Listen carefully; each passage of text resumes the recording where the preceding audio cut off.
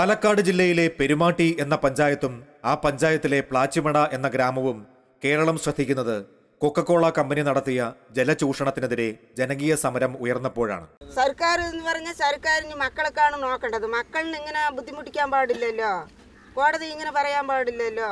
മക്കൾ വലുതാ ഇല്ലേ കമ്പനി വലുതാ കോടതിക്ക്. പ്രകൃതി വിഭവങ്ങൾക്ക് മേലുള്ള അതാത് ജനസമൂഹങ്ങളുടെ പൊതു അവകാശത്തെപ്പറ്റിയും കോർപ്പറേറ്റ് വിഭവ ചൂഷണത്തെക്കുറിച്ചും പഞ്ചായത്തുകളുടെ ജനകീയ അധികാരത്തെക്കുറിച്ചുമെല്ലാം പല ചർച്ചകൾ അന്ന് ആ സമരം ഉയർത്തിവിട്ടു. കണ്ണാടി വസ്തുനിഷ്ഠമായി ഏറ്റെടുത്തു പിന്തുണച്ച മറ്റൊരു ജനകീയ സമരമായിരുന്നു അത്.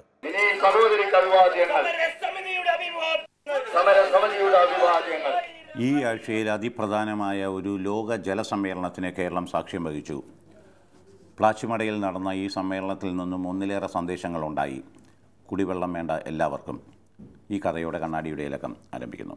മറ്റുള്ളവർ മോഷ്ടിച്ചാലേ കയ്യിലുള്ള മുതലിന്റെ വിലയറിയൂവെന്ന് മൂഢരായ മലയാളികളെ ബോധിപ്പിക്കാൻ ഒരു ലോക ജലസമ്മേളനം തന്നെ നടത്തേണ്ടി വന്നു.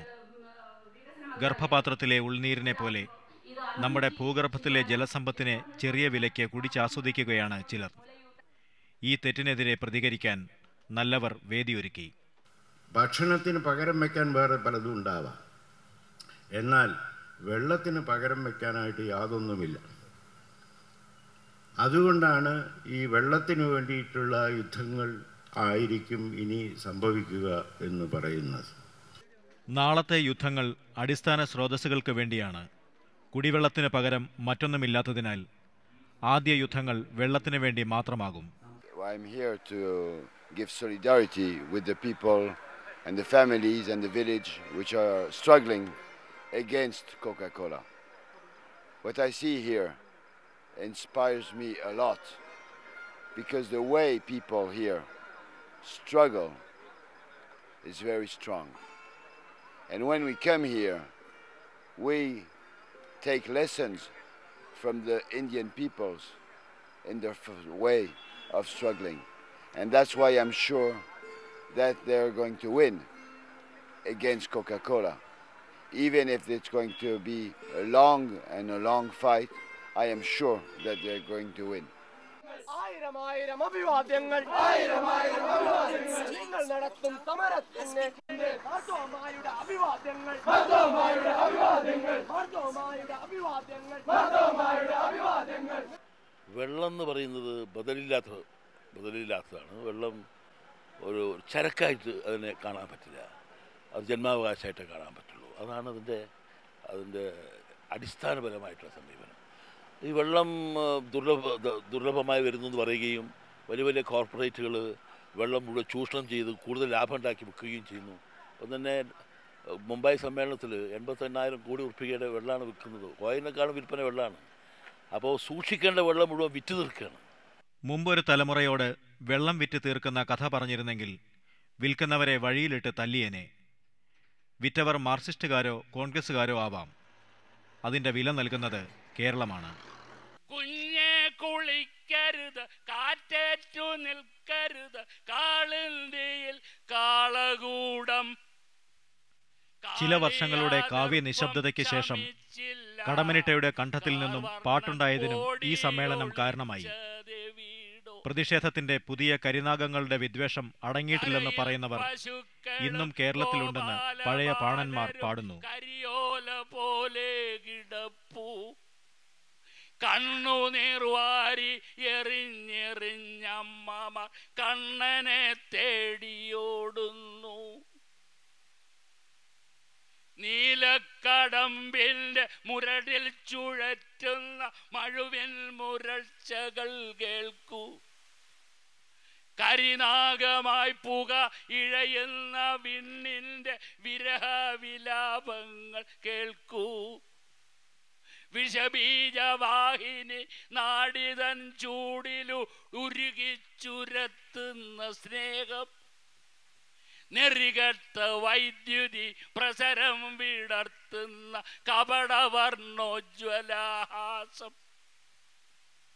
അരുതരുതു നിന്നെ മയക്കരുത്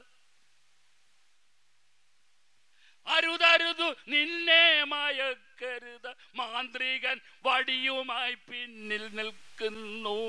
നമ്മുടെ ഭരണകൂടത്തിന്റെ പ്രതീകമായിട്ട് ഇവിടെ കാക്കിയിട്ട സൈന്യങ്ങളുണ്ട്. എന്തിനു വേണ്ടി അവർ വന്നിരിക്കുന്നത്? ആരാ കാക്കിയിട്ട ആളുകളെ ഇങ്ങോട്ട് നിയോഗിച്ചിരിക്കുന്നത് നമുക്കറിയാം. സമരത്തിന്റെ ന്യായം കേരള സമൂഹത്തിന് ഉടൻ ബോധ്യപ്പെട്ടു. എന്നാൽ ഭരണാധികാരികൾക്ക് ബോധ്യപ്പെടാൻ ഏറെ വൈകി. അപ്പോഴൊക്കെ കണ്ണാടി ആ ഉത്തരവാദിത്വത്തെപ്പറ്റി ഓർമ്മിപ്പിക്കുകയും ചെയ്തു. ഇങ്ങനെ കത്തിയെരിയുന്ന മനുഷ്യരോഷത്തെ കണ്ടില്ലെന്ന് നടിച്ചിരിക്കുന്ന സർക്കാരിന് കിട്ടിയ മറ്റൊരു തിരിച്ചടിയാണ് കഴിഞ്ഞ ദിവസം പൊല്യൂഷൻ കൺട്രോൾ ബോർഡിൽ നടന്ന ആക്രമണം. കടലിൽ കല്ലിട്ട അഴിമതി കഥകളും കടലിൽ മണ്ണിട്ട് കാശുണ്ടാക്കിയ കഥകളും കണ്ണാടി പറഞ്ഞിട്ടുണ്ട്. ഇത് രോഷം കൊണ്ട് കോളകൾ സൂക്ഷിച്ചിരുന്ന ഒരു ഫ്രിഡ്ജിനോടുള്ള പ്രതീകാത്മകമായ പകപോക്കലാണ്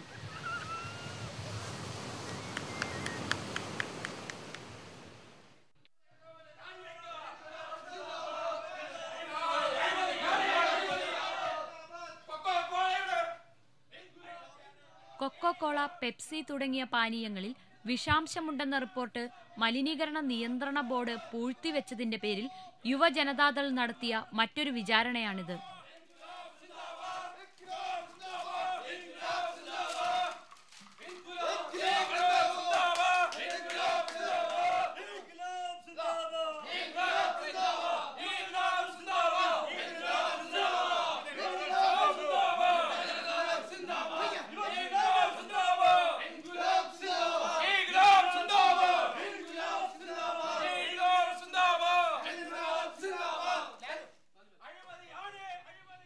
ജനകീയ വിചാരണയിലും എല്ലാ തീവ്രവാദികളും പാലിക്കുന്ന അടിസ്ഥാന നിയമങ്ങൾ ഇവിടെ പാലിച്ചില്ല.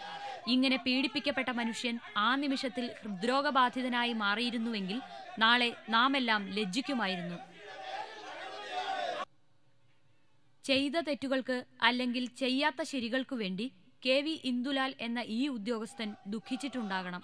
അദ്ദേഹത്തെ ഈ മട്ടിൽ വിചാരണ ചെയ്യുമ്പോൾ ചെയർമാൻ മാറിയൊഴിഞ്ഞു. മറ്റു ജീവനക്കാർ നിശബ്ദരായിരുന്നു. ചിലരൊഴികെ.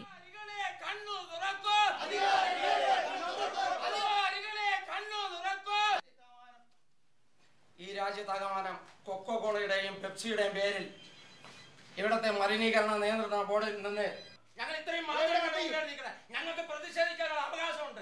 ഞങ്ങൾ തീരുമാനിക്കും ഇവിടെ എന്ത് നടക്കണം എന്ത് ചെയ്യണം. വോട്ടർമാരാണ് ഞങ്ങൾ വിശ്വാസികളാണ് ഇങ്ങനെ ഞങ്ങൾ ഇങ്ങനെ അതാവട്ടെ ഇങ്ങനെ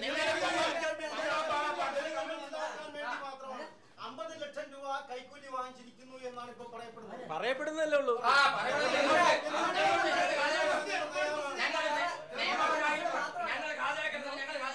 നിങ്ങൾക്ക് പറയാമോ നിങ്ങൾക്ക് എത്ര ഞാൻ ഇവിടുത്തെ ഒരു ഉദ്യോഗസ്ഥനാണ് നിങ്ങൾ ഞാൻ കണ്ടത് ഞങ്ങളെ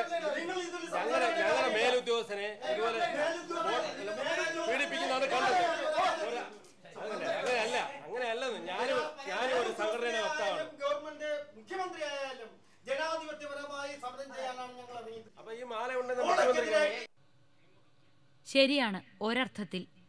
കഴിഞ്ഞ വർഷങ്ങളിൽ മുഖ്യമന്ത്രി ആന്റണി സ്വീകരിച്ച മാലകളുടെ ദൃശ്യങ്ങൾ നോക്കൂ. എല്ലാ മാലകളും ഇന്ന് നോവിക്കുന്ന മുൾമാലകളായിരിക്കുന്നു. ചെരുപ്പുമാലകൾ ഊരിക്കളയാം. ആശയഭദ്രതയുടെ ആഭരണങ്ങൾ എടുത്തെറിയാനാവില്ല.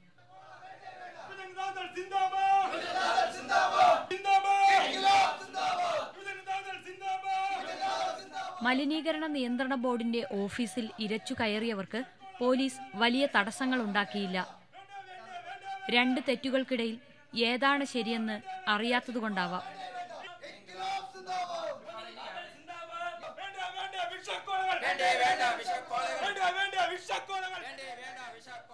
ഈ കഥകൾ ആവർത്തിക്കാതിരിക്കുവാൻ ഒരൊറ്റ മാർഗമേ ഉള്ളൂ. ഇത്തരം കാര്യങ്ങളിൽ നടപടി സ്വീകരിക്കുന്നു എന്ന് ജനങ്ങളെ സർക്കാർ ബോധ്യപ്പെടുത്തണം.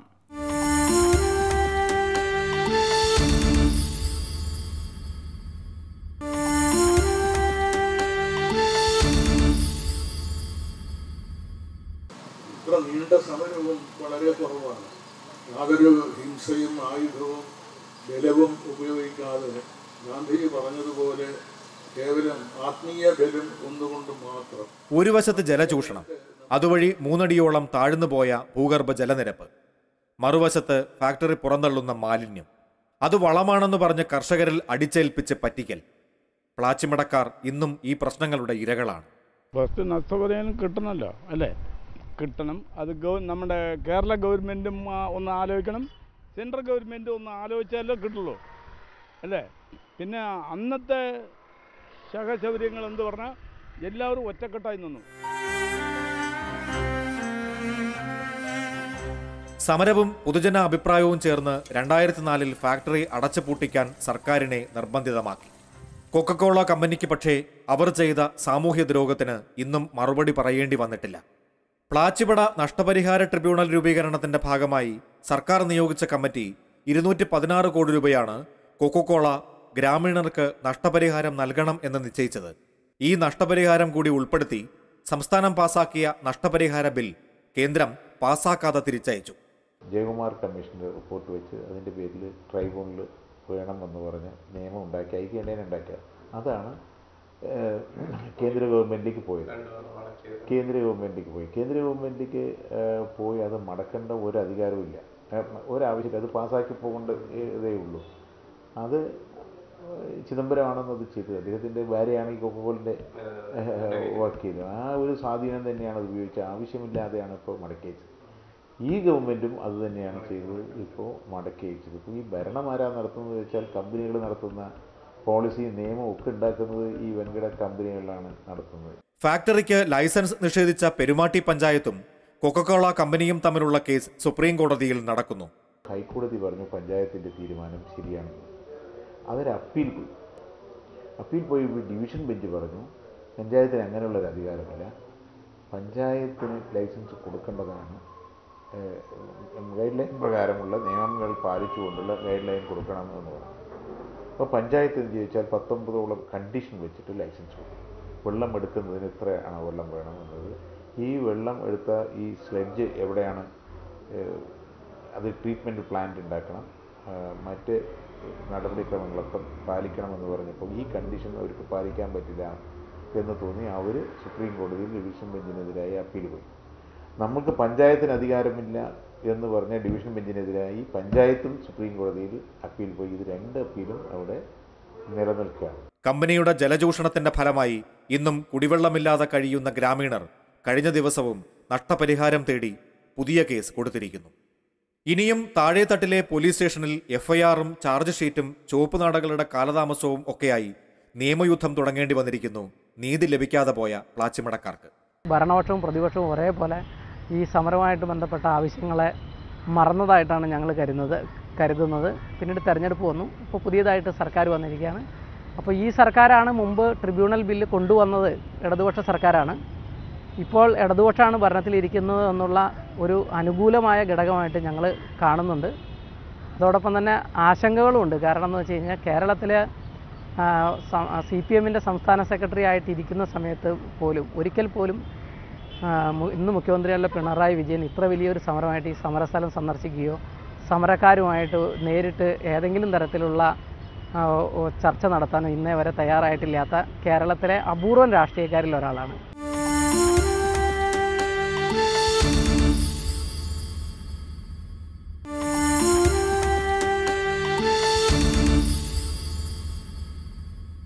ഫാക്ടറി പൂട്ടി പതിനാറ് വർഷത്തിനിപ്പുറം കമ്പനി പരിസരത്ത് സുരക്ഷാ ജീവനക്കാർ മാത്രം ജോലിക്കാരായി ശേഷിക്കുന്നു. സമരകാലത്ത് ലോകത്തിന്റെ പല കോണിൽ നിന്നും പ്രശസ്തരും സാധാരണക്കാരുമായ സമര അനുഭാവികൾ ഒഴുകിയെത്തിയിരുന്ന പ്ലാച്ചിമടയിലെ ഓലമേഞ്ഞ സമരപ്പന്തലിൽ എന്നുമെത്തുന്നു കനിയമ്മയെന്ന ഈ ആദിവാസി വൃദ്ധ. മൈലമ്മയ്ക്കൊപ്പം സമരമുഖങ്ങളിൽ നിന്നവർ. ഞങ്ങൾക്ക് എന്തെങ്കിലും കുടിവെള്ളത്തിന് വേണ്ടിയല്ല ഞങ്ങൾ ഇത്ര കഷ്ടപ്പെടുന്നത്? ആ കുടിവെള്ളത്തിന് മാസം നൂറ് രൂപ കൊടുത്തിട്ടാണ് കുടിവെള്ളം എടുക്കുന്നത്. അതിന് നിങ്ങൾ പറയാൻ പറ്റില്ലയോ? വെള്ളമില്ലേ? വെള്ളമുണ്ട്. പൈസ കൊടുത്തിട്ടാണ് നമ്മൾ വെള്ളം എടുക്കുന്നത്. പെരുമാട്ടിയിൽ ജലചൂഷണം അവസാനിച്ചു.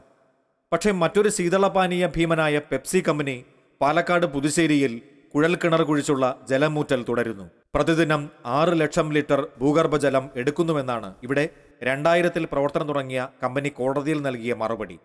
പുതുശ്ശേരി പഞ്ചായത്തിൽ പത്തിലേറെ വാർഡുകളിൽ കുടിവെള്ളക്ഷാമം രൂക്ഷമാണെന്ന് സർക്കാർ അറിയുന്നുണ്ടോ? ഈ പശ്ചാത്തലത്തിൽ വെള്ളമെടുക്കുന്നത് നിർത്തിവെക്കണമെന്നാവശ്യപ്പെട്ട് പുതുശ്ശേരി പഞ്ചായത്ത് കമ്പനിക്ക് നോട്ടീസ് നൽകിയെങ്കിലും ഇതിന് കമ്പനി മറുപടി നൽകിയില്ല. പുതുശ്ശേരിയിൽ വ്യവസായ മേഖലയിലാണ് പെപ്സി പ്ലാന്റ് പ്രവർത്തിക്കുന്നത് എന്നതിനാൽ ജനകീയ സമരങ്ങൾ ഫലപ്രദമാകുന്നില്ല. ഇതുവരെയായി നികുതിയോ ലൈസൻസ് ഫീസോ ആയി ഒരു രൂപ പോലും പഞ്ചായത്തിന് നൽകാതെയാണ് പെപ്സി കമ്പനി ജലചൂഷണം തുടരുന്നത്. കമ്പനിക്കെതിരെ നിയമപോരാട്ടം നടത്താൻ തയ്യാറെടുക്കുകയാണ് പുതുശ്ശേരി പഞ്ചായത്ത്. ഇത് നടപടി നമ്മളൊന്ന് പഞ്ചായത്ത് ഭരണസമിതി കൂടി പെപ്സിയുടെ അമിതമായ ജലചൂഷണത്തിനെതിരെ പ്രമേയം പാസ്സാക്കിയുണ്ടായി അത് ബന്ധപ്പെട്ട് നമ്മളിന്ന് നോട്ടീസ് കമ്പനിക്ക് അയക്കും.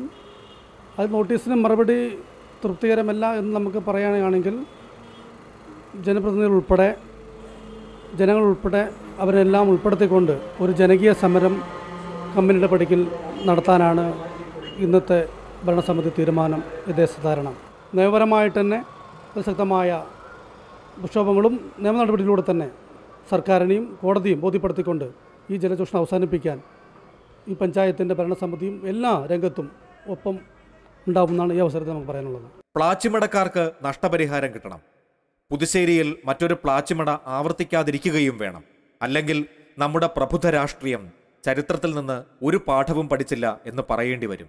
പ്ലാച്ചിമടയിലെ ആദിവാസികളിൽ നല്ലൊരു ശതമാനം ആളുകൾക്കും എല്ലാ ഏതാണ്ട് എല്ലാ വീടുകളിലും തന്നെ സർക്കാർ സൗജന്യമായിട്ട് കൊടുത്തതോ സർക്കാർ പദ്ധതികളുമായിട്ട് കൊടുത്തതോ ആടോ അല്ലെങ്കിൽ പശുവുള്ള വീടുകളായിരുന്നു. ഇന്ന് നമുക്ക് കാണാൻ സാധിക്കും. ഇന്ന് അവിടെ ചെന്ന് കഴിഞ്ഞ് കഴിഞ്ഞാൽ ഈ ആടിനെ വളർത്തുന്നവരും പശുവിനെ വളർത്തുന്നവരായിട്ട് ആളുകളുടെ എണ്ണം വളരെ ചെറുതാണ്. അതൊക്കെ ഇപ്പോൾ ഉള്ളവരെന്ന് വെച്ചാൽ ഈ അടുത്ത കാലത്ത് മേടിച്ചതൊക്കെയാണെന്നറിയാം കാരണം ഒരു കാലത്ത് പശുക്കൾ വരെ മരിക്കുക പശുക്കൾക്ക് വെള്ളം കിട്ടാതെ വന്നതുകൊണ്ട് അവർക്ക് കുടിവെള്ളം തന്നെ കിട്ടുന്നില്ല. പശുക്കളെ അവരുടെ വലിയ വരുമാനം മാറുന്ന പശുവിനെ ആടിനെ അവർ കൂട്ടത്തോടെ വിറ്റതായിട്ട് നമുക്ക് കാണാൻ സാധിക്കും. ഇങ്ങനെയുള്ള കാർഷിക പ്രതിസന്ധിയും ആ ഭാഗത്തുണ്ട്. പിന്നെ കൊക്കക്കോള വളമായിട്ട് നൽകിയ വളം ഉപയോഗിച്ച് അതിനെക്കുറിച്ചുള്ള ബി ബി സിയുടെ റിപ്പോർട്ടൊക്കെ വന്നിരുന്നു. പല സ്ഥലങ്ങളിലും ആ വളം ഇട്ടിരുന്നു. അത് വളമാണെന്നും പറഞ്ഞിട്ടു. അത് കിണറിലെ വെള്ളത്തിൽ കലർന്നു. പിന്നെ അത് കൊക്കക്കോള പറഞ്ഞത് ഹസാഡസ് വേസ്റ്റ്. ഖരമാലിന്യങ്ങൾ ഇല്ല എന്ന് പറഞ്ഞ് ഖരമാലിന്യങ്ങൾ ഉണ്ട് എന്ന് തെളിഞ്ഞു. അതിനെതിരെ ഒന്നും പൊല്യൂഷൻ കൺട്രോൾ ബോർഡ് നടപടിയെടുത്തിട്ടില്ല. വെള്ളത്തിന്റെ വിലയും ജനങ്ങളുടെ അവകാശവും കോർപ്പറേറ്റുകളുടെ ലാഭലാക്കുകളും പുതിയ സർക്കാരും തിരിച്ചറിയുമ്പോഴേക്കും വളരെ വൈകിപ്പോകാതിരിക്കട്ടെ എന്ന് പ്രത്യാശിക്കുന്നു.